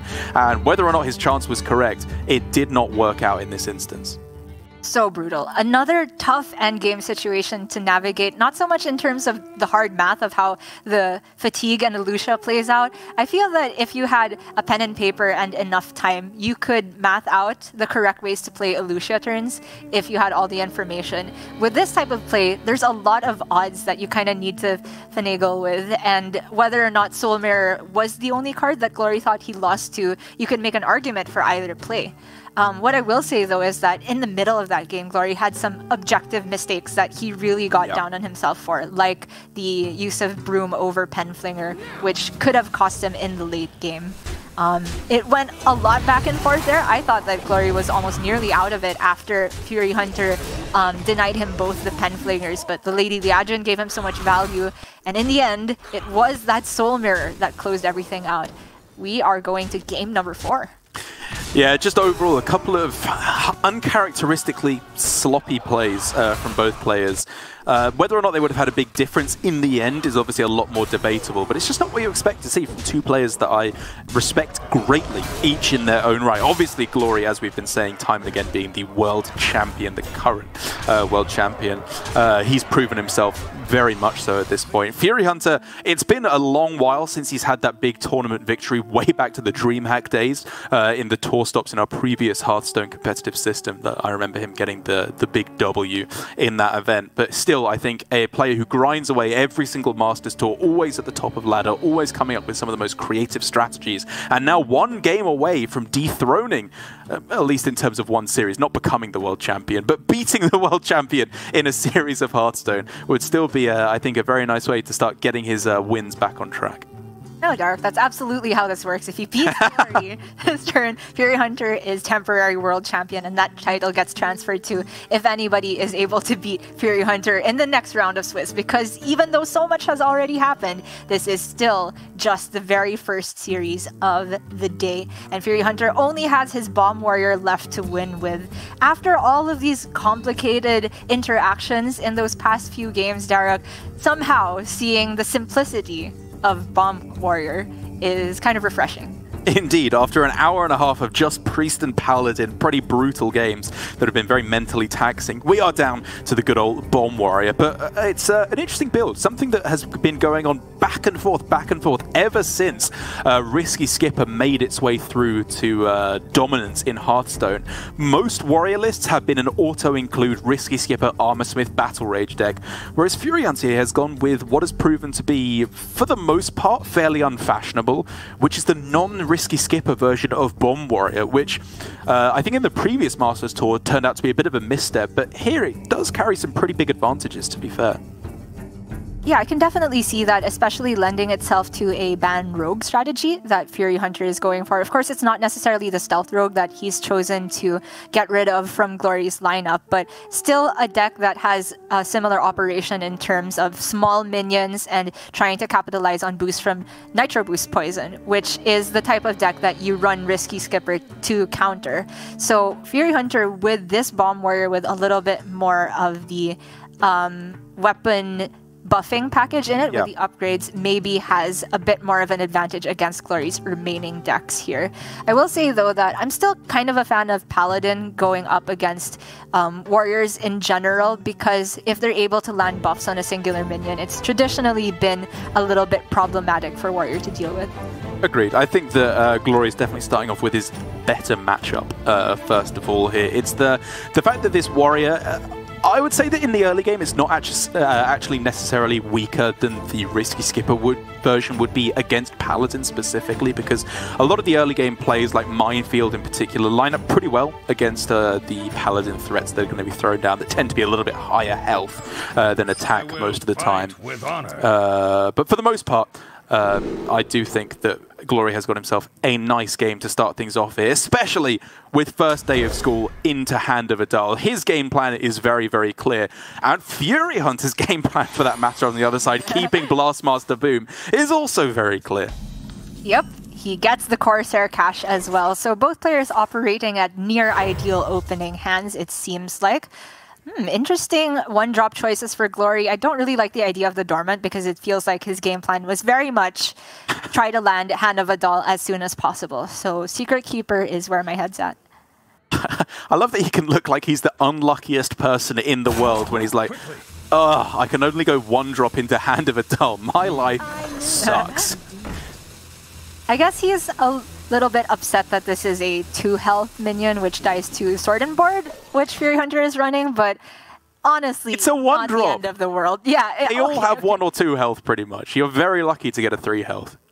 Oh, come on, Daruk. Haven't you gotten double Aldor attendant off of your first day of school before? I have much to learn. okay, well, this presents a conundrum for Furyhunter to a certain extent where there is quite possibly a buff card landing on this Secret Keeper because Glory did 3 keep. Uh, but if he goes for Sword and Board, it kind of makes the mana a little bit less efficient. He could still potentially end up with Wrenchcalibur on 4, but he is just going to stick to his guns, and we'll see if he has to pay the price for it later. Yeah, that was a bit of a weird one, wasn't it? Because given the fact that the only weapons in the deck are Wrenchcaliburs, it could have just as easily have been Corsair Cache on three. Obviously, you're potentially running into uh, mana inefficiency issues, but going for just sword and board on that turn was definitely something that I was interested in looking at, uh, even if it does mean you float a mana on turns two and three. Whereas now, if he wants to clear, which is, again, not necessarily a play that has to be made, you're looking at Sword and Board plus Shield Slam, which is a lot of value used up. What now? Feels pretty awful indeed. The alternative play being just Shield Block, help him cycle along. Um, I can see this happening more likely if he had a Brawl in hand, where he just kind of says, okay, at some point you're going to extend, so I'm not going to bother dealing with individual minions. But the problem is he doesn't have the Brawl or even a Minefield what at the moment. Now? So Shield Slam obviously is more tempting to keep when you have Shield Block, but it's going to be a long time before he gets to play that because he's very committed to holding on to Wrenchcalibur. Okay, it looks like he is just going to go for a preemptive damage here and try to clear with Wrenchcalibur next turn. I didn't even spot this line, but I quite like it. Yeah, I think this is perfectly reasonable. It still has flexibility, even if Wrenchcalibur, for whatever reason, is not the correct play on the following turn. He's got Shield Block, Shield Slam in case something goes disastrously wrong. I'm not even sure what that could be, to be honest. Uh, but like you said, Wrenchcalibur is pretty much set up as a guarantee on the following turn. And then at that point, Furyhunter, honestly, is looking pretty good. As long as he doesn't get aggroed out of the game, Blastmaster can pretty much just solo a game if it comes down fully activated. And this presents a crossroads for Glory because he's very much aware of the Wrenchcalibur and the fact that Furyhunter has set up to deal with this buff Secret Keeper. He is still going to commit both buffs on this because it cheapens his Devout Pupil, I think, first and foremost. And he knows that he wants to get uh, the maximum minion presence as early as possible before Blastmaster Boom can come down. So I like the line from Glory, even though he's getting less card draw than average from Blessing of Wisdom.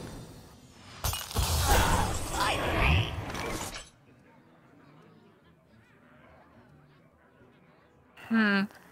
I am interested in Devout Pupil just played out as soon as possible. It makes his next turn rather weak, but the Salhet can still be played with Crab, Crab Rider at worst. Yeah, it means it's taking a significant hit right now, obviously, but it, uh, it, kind of just makes everything he does for the next few turns better, because even if the one health minions that he draws are not necessarily what he wants to play, it just makes it more likely for him to find the other Devout Pupil, the uh, the Aldor Truth Seeker as well, whatever it may be for the mid game, uh, that can juice up his uh, aggression a lot more. I can definitely see the argument for that, but I'm not sure I'm going to hear any argument for anything but upgrade, upgrade, and swing into a 2-5 here. Oh, yeah. That sounds good to me. I mean, uh, Shield Slam is kind of interesting at this point because it does allow you to connect face, right, with an extra 4 damage. Uh, it's obviously very debatable what the extra face damage means, given that this is Paladin that has access to some pretty significant burst healing. But, you know, there was room for at least a little bit of debate, especially given that his armor is going to be very heavily eroded this turn. True. Problem for Glory is that the Salhet's Pride was not even touched this turn. And the Devout Pupil, I guess, still has um, quite an awkward shape to it, where Furyhunter needs to Shield Slam currently to get rid of the Divine Shield. But he can start with Quartermaster, go from there. Kobold Lackey would be pretty good. Is this definitely a Quartermaster rather than Hero Power Shield Slam Barov on this turn? Like, the Divine Shield is really annoying, but this this Yeah. this is a lot of damage that he's tanking right now. He does need to do something about this. It's true. The health gets really scary at this point. Um, the way I see it is he's almost uh, whether he goes for Barov or the evil quartermaster and gets Kobold, he's going to tank at least four from this. Okay, he ends up going for the Barov instead with the shield slam. But I was gonna make the argument for maybe you can get away with one more turn of Glory not necessarily killing off his Salhet's Pride. But then again, my line would have still just given Furyhunter a minion on the board, so this is minimizing the damage he takes. Indeed, and especially I think given that he wants to, as much as possible, guarantee that Blastmaster Boom is his turn 7 play. Uh, I'm very happy with him just using the clear on this turn. Whatever Glory develops on this turn, hopefully it's not too threatening. Uh, he can then just slam down Blastmaster and hope that that carries him to a win. Crab Rider Blessing, uh, Devout Pupil down to one mana, and he can fit in Hero Power. Yeah, it's just rather whether he'd rather fit in Penflinger rather than a 1-1, which, uh, you know, when Brawl is a card is something to consider uh, at the very least. I probably do still prefer Hero Power uh, over the Penflinger, but something. Yeah, the consideration is between Brawl and Boom, I suppose. We can see the Yeah. Boom, obviously, so more guys to soak up Boom bots is where my head is at. But it also just doesn't feel like the one damage from the Penflinger is helping Glory's clock whatsoever, so Mm. just board presence is what I like. And I think really Devout Pupil was like the one thing that Furyhunter did not want to see because it just makes it so difficult to even swing his weapon at all. Oh, is it worth delaying a Boom? I don't know. I think so. I think this is too much because he would only be getting a two boom, uh, like uh, four boom bots instead of six at this point, unless he swings, uh, which Yeah. really that just looks way too scary to be swinging Yeah. into a, a divine shield there. yeah, given the Crab Rider also on board and the possibility of Hand of A'dal coming down, it's probably too sus. So in the end, going to be going for this. He can fit in an Evolve if he likes, but instead just going to go for Silence, keep himself as healthy as possible for an upcoming Boom turn. Yeah, this is exactly the line that I would have gone for.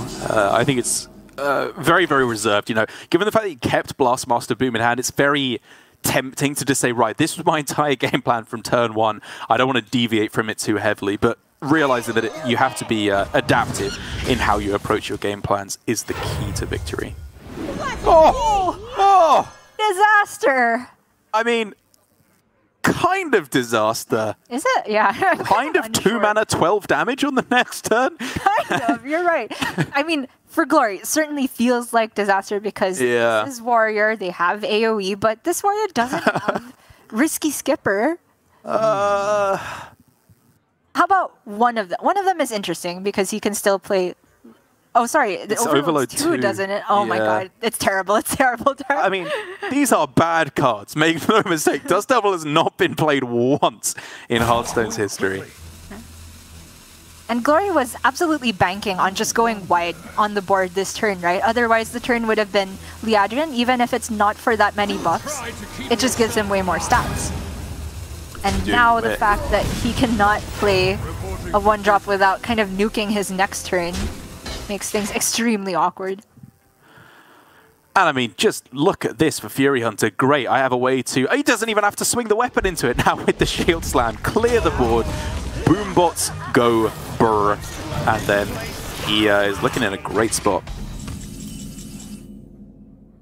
And the bomb arrives right after it's got its job done from Blastmaster Boom. Glory has Libram of Hope, but not much of hope itself. So he can go Libram of Hope this turn. If he survives, if he if he can survive the next turn, he could just slam Lady Liadrin onto the board. Mm. And then get another Libram for the following turn, obviously to heal up a further eight. It's it's a scary plan, but it's the best I'm seeing right now. Yeah, that's where my head was at as well. The problem with this is the Blastmaster Boom is still going to be there after this turn, so I was yeah. considering something like Libram of Justice and Penflinger. At that point, though, you give up the Penflinger because there was no other spell to put it back in hand. I think Furyhunter is fine to face tank this. Uh, yeah, very much so. I think that's why he one of the main reasons that he kept the weapon, just because of a, a big taunt potentially on the next turn. On wings of evil. Ooh. Big ol' whelp. Yeah, big ol' whelp's looking real tasty here. Just drops that down this turn.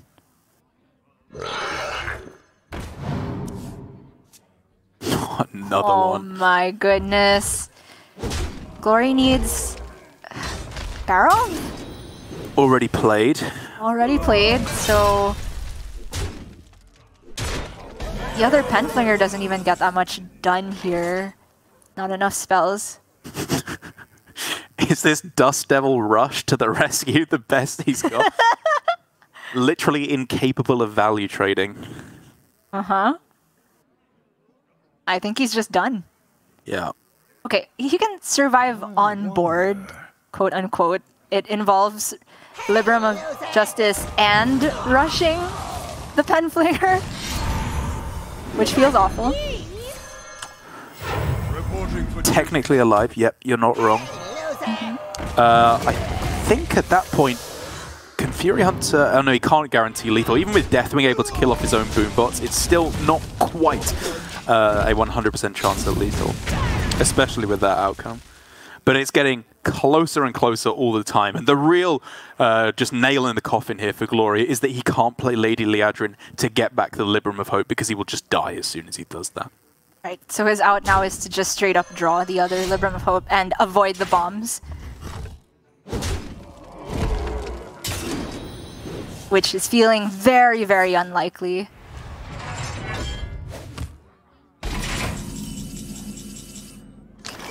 Okay, he gets at least a turn to play this one out. Uh, Crab Rider Liadrin, yeah, sure. Mm -hmm. Not always dead.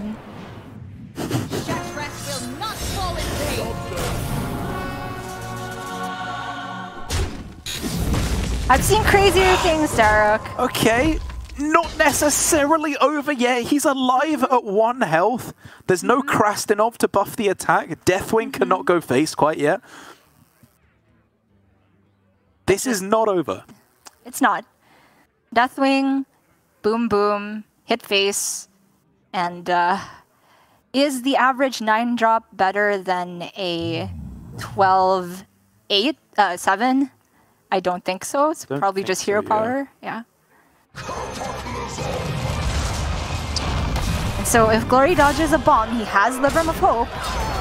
Right. I mean, the, the problem is, though, that if he does that, Glory then would just have access to Blade Storm to be able to clear it off. I mean, I guess his own 8-8 would then die on the other side.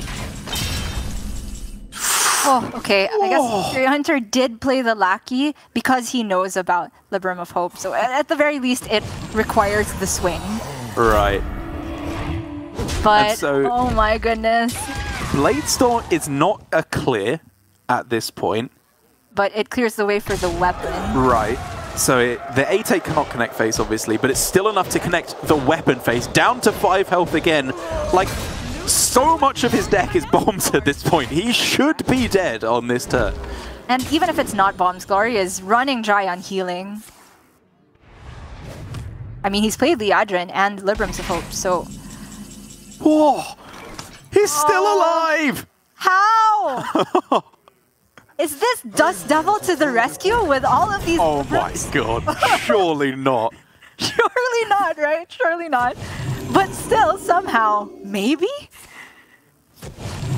I mean, he's gonna play it this turn, right? I mean, you have to. You've, Yeah. You just have to kill them next turn. Okay, he's committing all of the Librams here, though. Oh my lord. Reporting for duty. Indeed.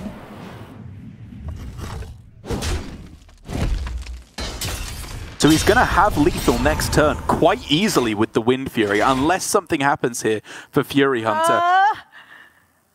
Uh, oh my gosh, it's like it's a win or a loss on this turn. He either one gets attack short of being able to get through the taunt and open the way for the weapon, which gives Yeah. him one more break point, and also, crucially, a way to deal with the Dust Devil.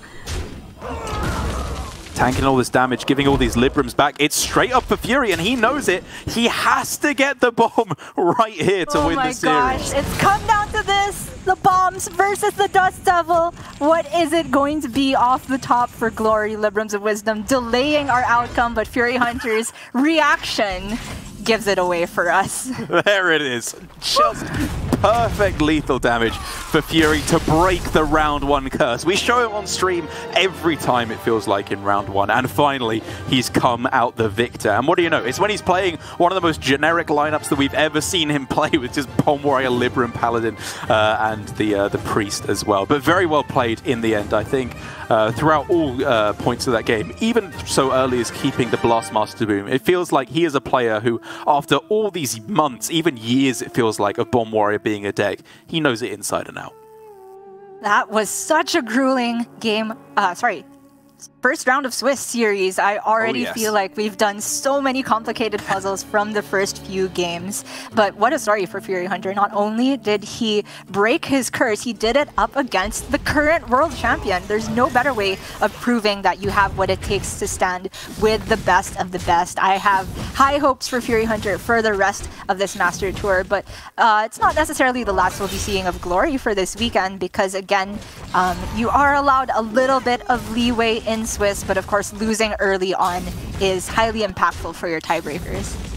Very true. Uh, but I mean, it's worth mentioning, not only was that a, uh, 3-1 victory for Furyhunter, it was the Paladin going 0-3, I believe, for Glory after he won with his Priest in the first game of the series. Definitely not what you want to see, uh, given that Paladin is one of those decks that is fairly susceptible. But for the most part, I think we can uh, chalk it up to uh, you know, a couple of shaky plays towards the mid game, but for the most part, uh, really just not finding the draws that you need. While Furyhunter got pretty much the dream Bomb Warrior draw there. It was weapons into Blastmaster Boom. There is very little that can uh, triumph over all that. And that does mean that Glory goes down to 0 1. It's not the end of him if we